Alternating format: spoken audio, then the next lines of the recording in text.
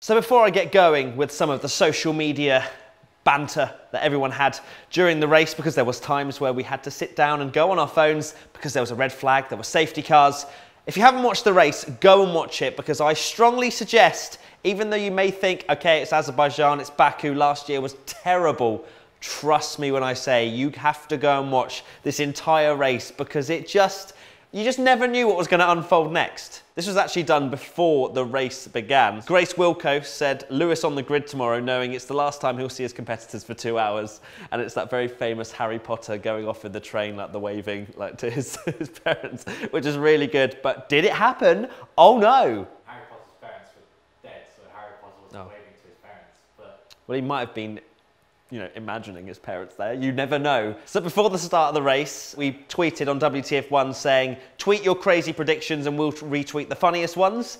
And Williams came in and said Mariah Carey to lap everyone because she was there this weekend. So Williams, as do most of the F1 teams, getting involved in the good old jokes. Fake Charlie Whiting, which is a great Twitter account. If you don't follow it, I'd strongly suggest you do. Was talking about the Sebastian Vettel and Lewis Hamilton incident where Lewis Hamilton slowed down and then into the back went Vettel, lost a bit of his front wing. He saw absolute red, swerved to the left, and then just turned into him so that they collided wheels.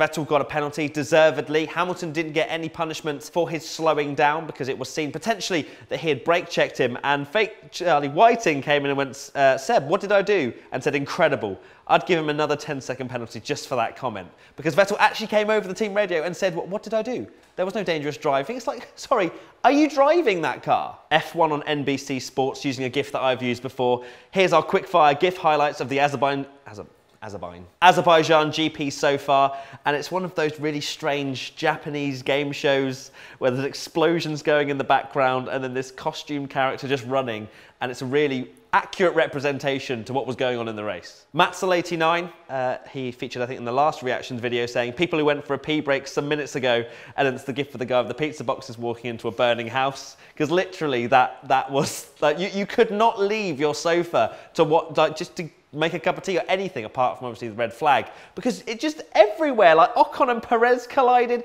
I mean if I was doing a highlights or a review of the whole race I guarantee I'd miss about 40 moments purely because it was so hard to keep up with. A picture I took it was lap 34 of 51 and I said who would have guessed this leaderboard at this stage in the race? And it went Ricciardo Stroll Magnussen Ocon Alonso the top five. Just before this the top eight were all different teams. Like there wasn't any teammates anywhere near each other. So the top eight at some points even Magnussen was in a podium position for at some point. It's like what is going on? Uh, so obviously on Twitter and social media at the moment the whole something is lava that's like a very popular thing that's going on right now and Racing Humour said having an undamaged car is lava because everyone seemed to have something wrong with it. Raikkonen had a puncture or a wing falling off or hanging off. Bottas obviously at the start as well with his puncture.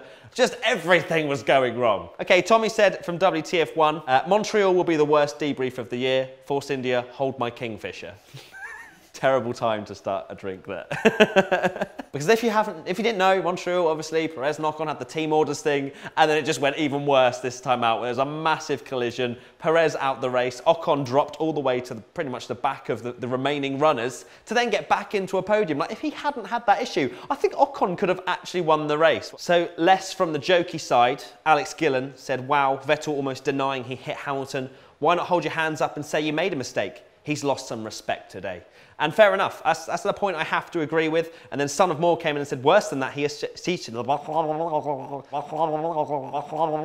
Worse than that, he suggested hitting Hamilton was to be expected after the brake test. That's what he said in his interview. He was like, yeah, what do you expect after him brake checking me? It's like, sorry? Are we like school kids in a playground? Well, he hit me, so I'm going to hit him. Like, that's not how it works in Formula One. And I personally thought that Vettel should get a race ban. Like, that was intentional turning into someone.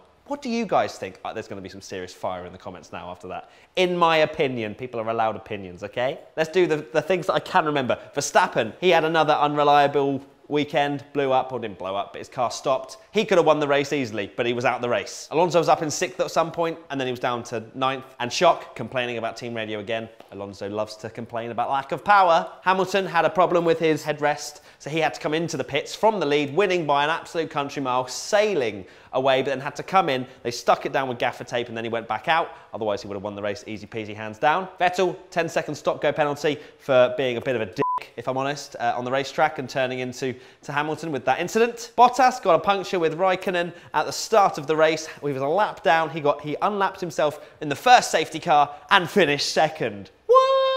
Perez Ocon, they collided. Ocon kind of turned into him. It definitely was Ocon's fault. Like he, he made the move, but then just squeezed him, and then like there was always going to be contact. So Ocon unfortunately made a little bit of an error there, but uh, I, I can imagine the debrief is going to be pretty salty. Renault Palmer car blew up and like five, ten laps into the race, shock. You know, just to be expected, really, isn't it, with uh, with, with Palmer at the moment. Hulkenberg, he hit the wall, which was unfortunate. He was running in a solid points paying position. Probably could have won the race. Who knows? But he turned in too early. Just knocked his suspension straight out. Stroll finished, well, he was literally second up until the line where Bottas got in with DRS. That was uh, unfortunate for him. Stroll could have won the race. I mean, at one point he was like a second behind, and I was like, right, Stroll's actually going to win a Grand Prix. Like, he only just scored his first points, and now he's like in contention to win the race. That was amazing. Everyone was just losing their minds. Massa, yeah, unfortunate for him. He had an issue with his car bouncing up and down. I think he had something wrong with the suspension or something. But basically, yeah, his car was, was pretty much damaged, as were most cars in the race. But yeah, he had to retire as well.